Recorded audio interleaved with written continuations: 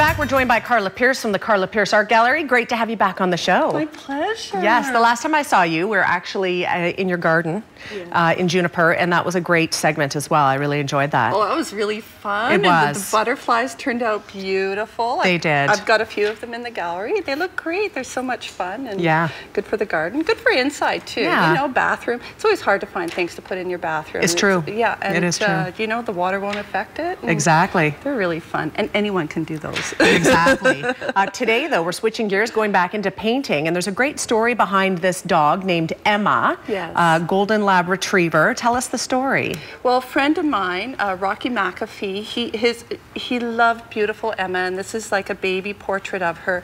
But she's recently passed away. She lived a full, beautiful life, and he wanted a portrait done of her. So uh, we're we're taking the image from uh, the baby Emma, and at the beginnings of her life. And isn't she sweet? But she, she is. And she was well loved and uh, uh, happy now and, and doggy heaven, I and guess. Doggy heaven. yeah. And there she is as an yeah. old girl. Yeah, And lovely. I think it's lovely. Rocky McAfee, of course, uh, Rocky Tat, Rocky's Tattoo Parlor. Yes. Everyone knows where that is downtown. Uh, but I think it's a great way to remember a cherished pet from the family, right? Absolutely. Yeah. I, I think that it's it's lovely to have that memory because they are family. You know, we get Mm-hmm. so close to our pets, and uh, this is just a nice way of remembering her. Yes, to me this seems like a challenging picture because uh, you're trying to sort of combine uh, the character but also the Mm-hmm. youthfulness of the dog, and uh, you've got sort of a rough outline here. Yes, yeah, the face is going to be a little bit trickier. Uh, I'll probably lay, leave that one right to the end and, and block in her eyes. We're going to warm them up a bit too, because in the image they're quite dark, Mm-hmm. but I, I, I think that she's got some lovely brown eyes. I, I met her as well. Oh, good. Yeah, so she's a lovely dog. Now, for somebody that's learning to paint, is that something that you would not get to until, like, like in terms of uh, like a, a, person or a dog, what's harder?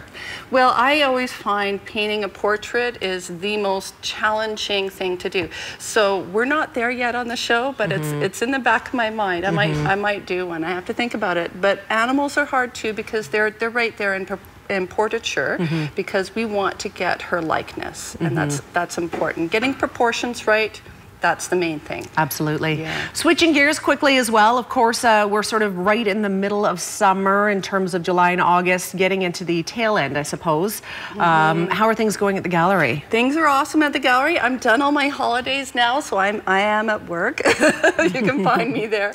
And we have an art camp running the last week of August. And then September, I'm taking registration for all kinds of art classes, kids, adults.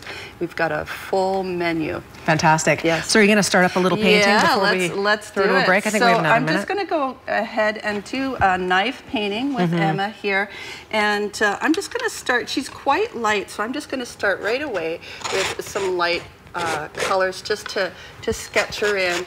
Um, she's sitting by a wood pile and I've altered the, the, um, uh, the background slightly just to, to make it a bit easier for us to, uh, there we go.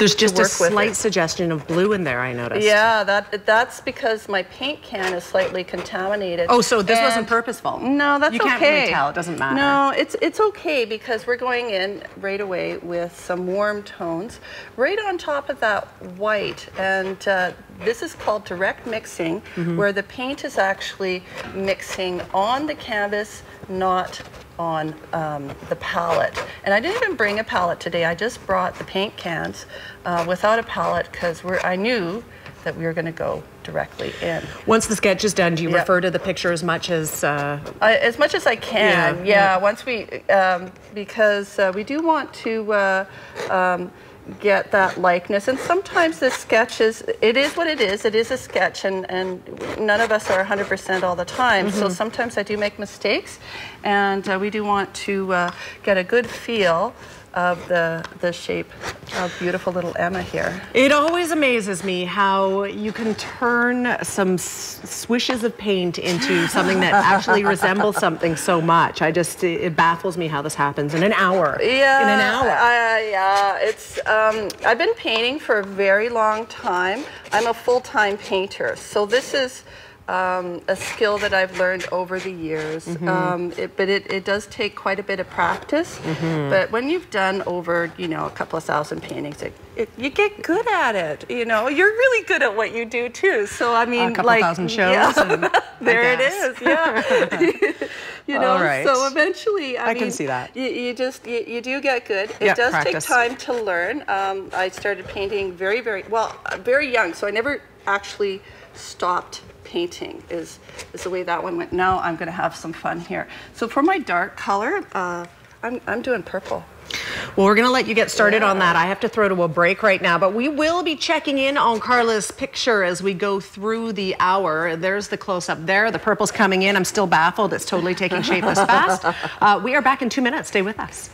As well, we're going to check in with Karla Pearce right now, who is doing a fantastic job of Emma, the golden rat lab retriever. Karla, how's it going? Oh, it's going great. Uh, we've got the background in, and I've uh, loosened up some of the colors a bit just to to play, um, filling in some dark spots. Next comes up the eyes and the nose. Fantastic. It's looking fantastic. We will check in. There's the picture of Emma, just a pupper at this time. Yeah.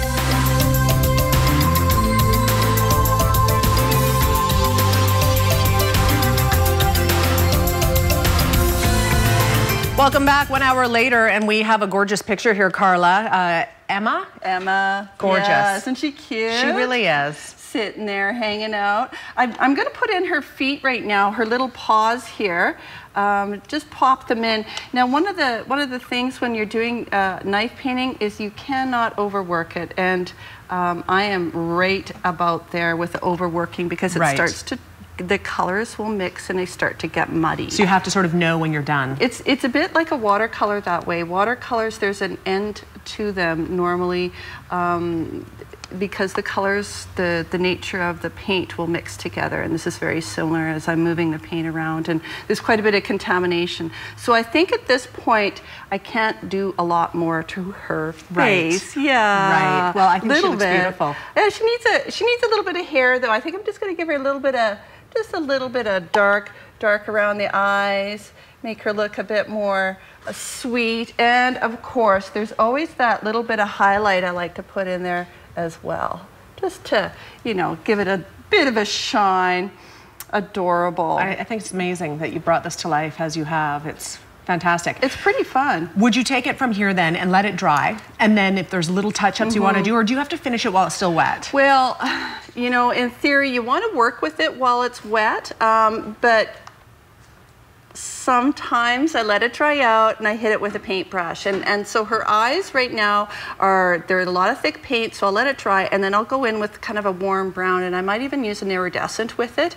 And then any little touch-ups that just aren't quite perfect. you sure. can do, and we call that glazing. So we make the paint very, very thin, almost watery, and then put it right on top of the layer so that you're not fighting against Mm-hmm. all the texture that's there. You're just working with it. Yeah.